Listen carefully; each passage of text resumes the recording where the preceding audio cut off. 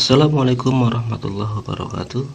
Jumpa lagi dengan saya Serambi Cinta Penulis Sujana Sendi Ya, bagi teman-teman yang ingin terus stay tune Tahu, ingin tahu isi dari novel cerita tentang novel islami bergenre percintaan ini Ya terus tetap jangan lupa subscribe-nya dan like-nya stay tune terus bunyikan loncengnya agar kita tahu uh, kapan uh, Serambi Cinta ini mengupload kembali video-video kelanjutannya. Oke, kali ini kita akan melanjutkan sebuah cerita ya dari video sebelumnya. Ini adalah uh, awal ya, awal dari kisah saya untuk membacakan sebuah novel di YouTube. Ini awal. Oke, kemarin kita baru sampai di sini ya. Di sini di ucapan terima kasih. Sekarang di, di lembaran selanjutnya itu ada daftar isi. Jadi saya akan membacakan isi daftar isi dan eh, kira-kira uh, ada apa gitu di daftar isi ini. Oke. Uh, tema pertama ada penjara suci apa itu penjara suci kira-kira? Oke nanti di situ ada penjelasannya tentang penjara suci. Tema kedua mimpi si Amin. Nah mimpi si Amin ini ini sebuah mimpi apa gitu? Mimpi apakah dia mimpi menjadi orang kaya atau dia mimpi bertemu dengan seorang uh, yang dicintainya? Apa gimana? Nah kita akan tahu nanti. Uh, tema ketiga ada ujang terjatuh tema keempat waktu ngaji setelah zuhur. Tema kelima rasa takut amin. Apa yang amin takutkan sebenarnya? Ya kawan-kawan di sini kita belum tahu ini. Oke uh, tema keenam tangan amin terluka. Wah amin kenapa? Apa amin terjatuh? Atau amin gimana? Bisa terluka. Oke stop stay tune nya tema ketujuh Ujang iba melihat Amin. Tema ke-8 mimpi ibunya. Tema ke-9 seharusnya ya di sini ya. Ini salah ketik ini uh, penerbitnya nih. Dari 8 ke 8 lagi seharusnya 9. Oke, kita sebut di sini 9 ya. Tema 9 Amin menuju Jakarta. Wah, ternyata Amin jalan-jalan deh ke kota. Maklum Amin kan dari kampung. Tema ke-10 di sini Amin mengeluarkan jurusnya. Wah, Kenapa Amin menggunakan jurusnya ini kira-kira nih teman-teman? Tema ke-11 malam pertama di Jakarta.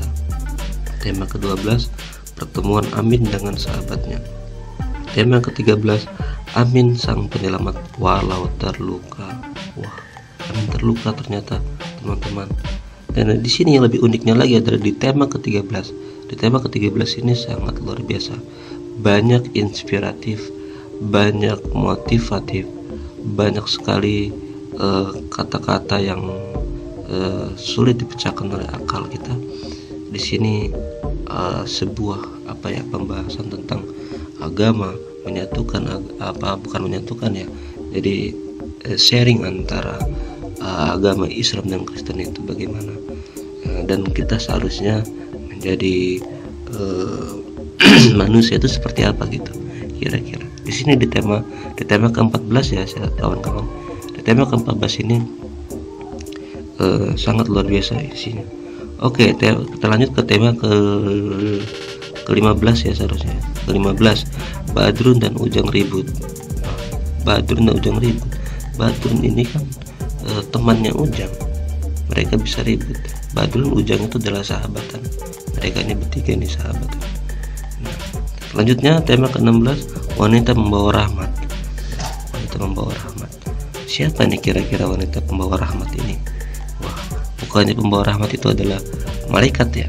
Kenapa ini bisa menjadi wanita yang membawa rahmat? Oke uh, tema ke-17 tangisan Sally. Sally menangis. Sally itu siapa sebenarnya? Ya, siapakah Sally? Nanti kita uh, makanya stay tune terus ya. Stay tune terus dengarkan terus. Dan baca terus nanti akan tahu Sally itu siapa Amin dibuat bingung di tema ke-18 tema ke-19 hidayah untuk Sally. Wah Sally mendapatkan sebuah hidayah ternyata teman-teman. Hidayah apa ini? Tema ke-20 keberangkatan menuju Bandung. Hmm, dari Jakarta ke Bandung. Ngapain? Ya. Tema ke-21 malaikat menjemputnya. Wah siapa yang dijemput kira-kira? Waduh bahaya ada yang dijemput sama malaikat ternyata. Ini di halaman 204 43 ya teman-teman. Oke tema ke 22 Amin di penjara. Nah kenapa Amin ini bisa di penjara? Ada apa sebenarnya? Nah di sini di sini juga sebuah uh, klimaks ya klimaks dari cerita ini. Masih sedikit panas ceritanya panas bukan berarti tentang pornografi ya kawan-kawan sorry. Ini novel tentang islami perjanjian islami.